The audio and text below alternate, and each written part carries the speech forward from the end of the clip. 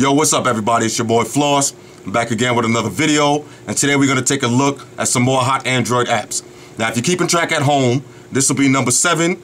Y'all already know the drill. All of these apps are available from the market. If you like them, download them, play with them for yourself. If you don't like them, then don't download them. Just that simple.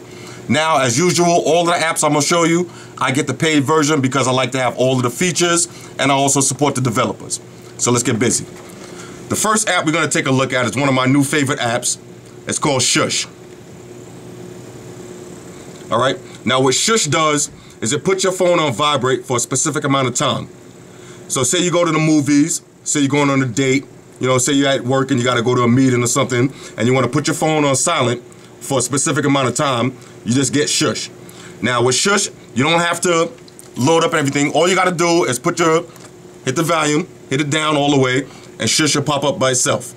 Now once it pop up, you can set it for a specific amount of time. Like say I go to the movies, I just set it for two and a half hours. Then you hit shush. You see on the notification bar, your phone is quiet now for two and a half hours. Now that's good because what I like to do is I like to go to the late show. So say I get to the movies at, you know, one o'clock in the morning, I put the phone on silent, I leave the movies at 3.30, whatever, get in the house and go straight to sleep. I might fall asleep with the phone on silent, and I might miss some important calls in the morning. At least when you're rocking with Shush, after two and a half hours, your phone will automatically go back to whatever loud ring you had it set before that. So Shush is a hot app.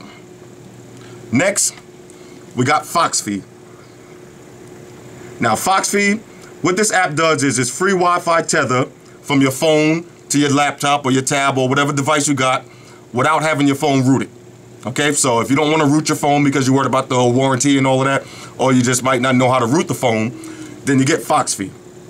So when you're in your car, all you got to do is activate FoxFi, activate the Wi-Fi hotspot, then you can pull out your Galaxy Tab or your Motorola Xoom or your iPad or whatever you want, and you get the free Wi-Fi tether.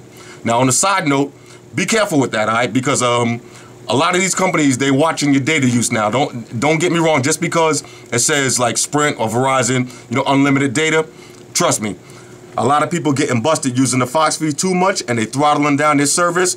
And some people they even straight up deading them from their contract. All right. And if you don't believe me, check out the Google Gangster Facebook page. One of my homeboys on there. Sprint just completely shut them down for using too much internet. And meanwhile, you got you know unlimited data, but you got to read the fine print on the contract. They got the right to shut you down at any time. So watch out with FoxFi. FoxFi is cool. Use it for an hour here, hour there, whatever. But if you're working overnight somewhere, don't try to watch Netflix all night using FoxFi because eventually you're going to get shut down. All right? What we got next? Next, we got Wake Voice. All right, now Wake Voice is a nice alarm clock. And I've been using this for a minute now. I like this joint. Let me show you how it works. You activate wake voice is, you know, you set it up just like a regular alarm, but it has a nice speech to text voice. All right, and and you could also use your voice. So this is I'm just gonna put a test run on it right now. This is the now you could set up any alarm you want, but this is the alarm I like to wake up to. It sounds like this.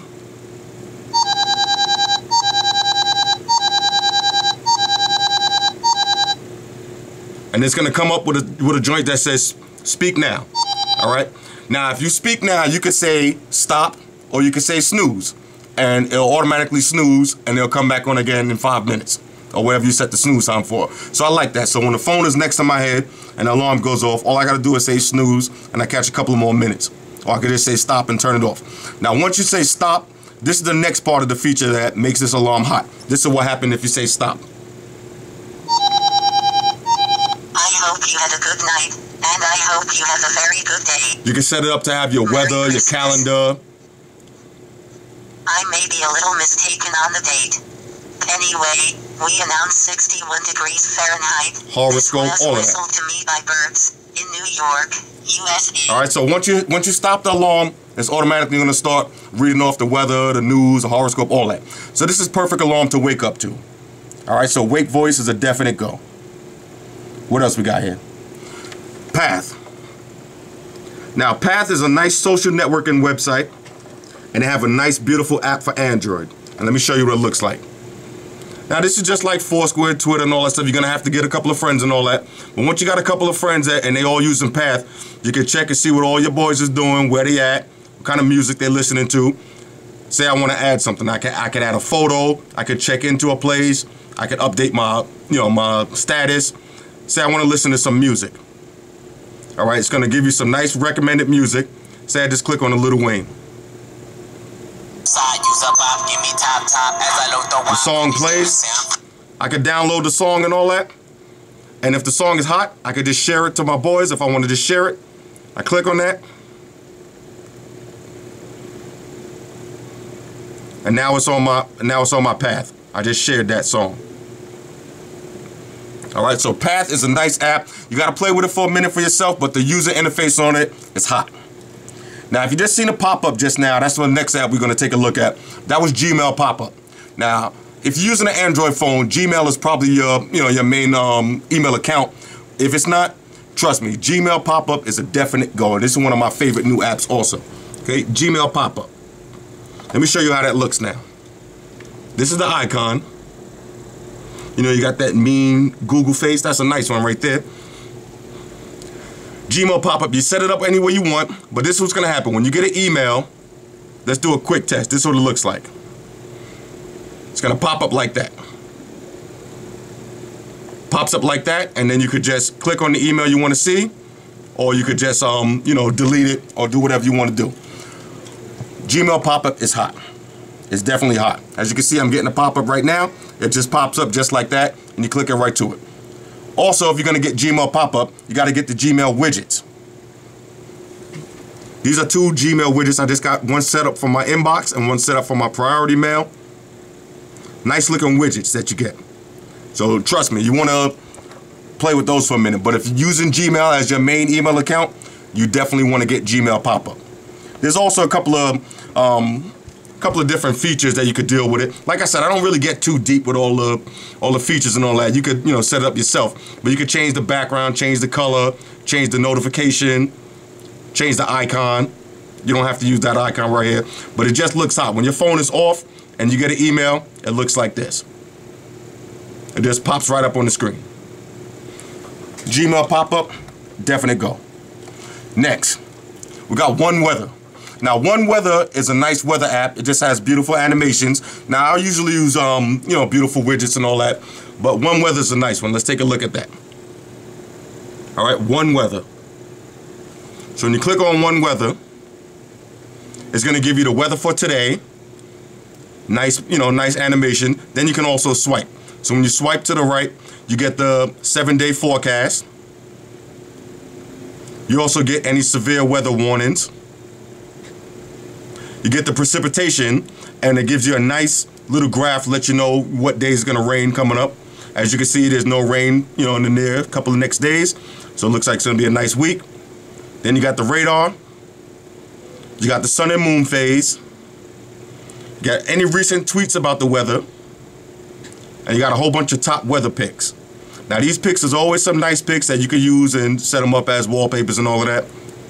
But it just looks nice and it works beautiful. And it also comes with a nice widget. All right, now I'm not going to get too deep into the widget right now, but when you download the app, it comes with a nice widget. You can set it up as your, you know, your main weather widget. And also, you get in your drop-down menu, you're going to get a nice notification. So one weather's hot. What else we got? Next, we got Amazon price check. Now, dude like me, I live on Amazon. Trust me. I mean, 90% of the stuff I buy online, I check Amazon first. So say I'm outside in the store and I see something's on sale or whatever, this app right here you need. It's called Amazon Price Check. So say I walk past and they they selling uh PS Vita games, they got this game on sale, whatever, uh, Ninja Gaiden, they got it on sale for $40 or whatever. I just click the Amazon app real quick and then just type it in.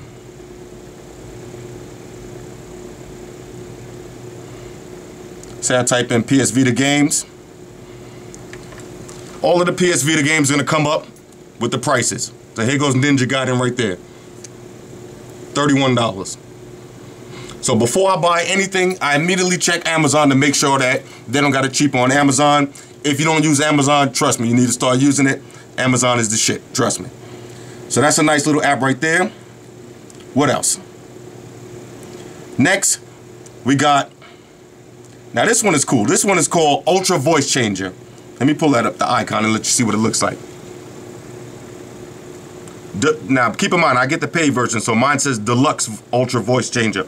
But if you want to just try it out, get Ultra Voice Changer, but I recommend getting Deluxe Ultra Voice Changer. Let me show you how that works.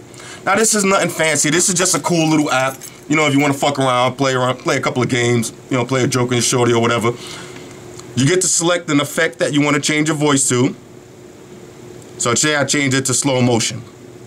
And I want to record something and I want to, you know, leave a message on my shorty's phone, something, you know, something crazy or whatever. I'll just do a test run. Leave the money outside my house. I'll be there at 8 o'clock. Now it's going to clean it up and then you can just play it back and see what it sounds like.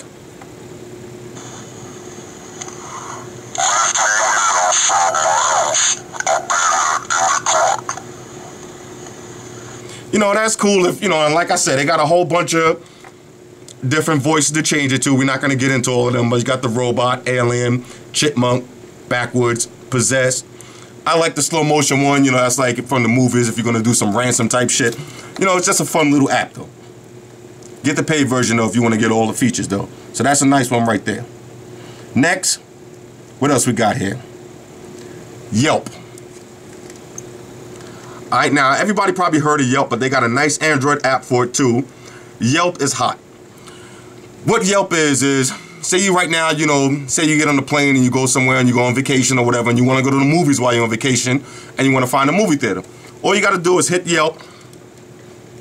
It's gonna it's gonna use your location. Like I just typed in movie theater while I was playing around with it earlier, and a whole bunch of movie theaters that's close to me are gonna pop up with all the reviews from it, all the pictures, the telephone number. And then you can click to the main site, all the tickets and all that. Got the website. But the best part of Yelp are the reviews, because there's a lot of solid reviews on there. I always leave reviews on places at Yelp, you know, using Yelp also. But Yelp is perfect, even if you're in your own hood and you just want to try out a new restaurant that you always drive past, you never ate from there, you just want to try it out. Check it out on Yelp first, though, because most of the time the reviews are reliable. So Yelp is a good little app right there, especially when you got to get out, you know, and see the hood a little bit. Next, something that just dropped on the set today, Instagram. Now, a lot of cats was asking me how I got Instagram before. You know, I was doing the beta test for it. Now they finally released the full version. Instagram is definitely hot. Definitely. Now all it is is just like a you know picture social networking site, just like PicPlz. We reviewed that on one of the app videos a long time ago, but this is just something so now all your boys who got iPhones and you know one thing they always said, oh y'all don't got Instagram, y'all don't got Temple Run or Android and all that. This is just one of those apps that now you can be like, look, we got Instagram now too. And basically all it is is a nice, you know, picture networking site. Now this is a test picture I did. I just took a little picture of something I was looking at online. You can upload it to Facebook. I had a whole bunch of friends, you know, y'all share pictures back and forth. You can follow celebrities on Instagram. You know, it's a nice little app. Personally, I like PicPlz better, but we'll see how Instagram pans out. So Instagram is out on Android now, so you need to download that. Add me, Flossy Carter, on that one. Next, speaking of iPhone, we got, now y'all know I don't really get too many, you know, games and all of that, but this is a game you gotta get. Temple Run and Angry Birds in Space. First, let's take a look at Temple Run. Now, I'm not, I'm not even gonna play it. Y'all already seen Temple Run, but the point is, it's Alpha Android. So, we matter of fact, we're not even gonna get into it. The point is that it's Alpha Android. And also Angry Birds in Space. These are two games that will definitely help you pass time if you're in the DMV, you know, you're in, the, you're in the hospital, whatever you at, and you got a couple of hours you gotta kill.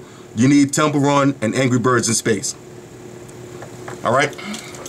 Shout out to everybody that follow me on Facebook, Foursquare, Twitter. Shout out to everybody that hit me up on Google Plus. Shout out to all the Google gangsters. I see y'all on that Facebook page. Shout out to everybody that been hitting me on Voxer. Y'all know I'm hitting everybody back. Also, um, we're gonna get we're gonna get back into these videos again. We got the what the HTC Evo One that's getting ready to drop. You know, we got to see, but right now ain't really nothing out. So we just want to, you know, keep fooling around with the app videos. We got stage five with the whip coming this weekend. The whip is in the shop right now. We're doing some major work on it. So we got stage five coming this weekend, all right? And we keep it moving, all right? It's your boy Floss. I'm going to catch up with y'all on the next trip. Deuces.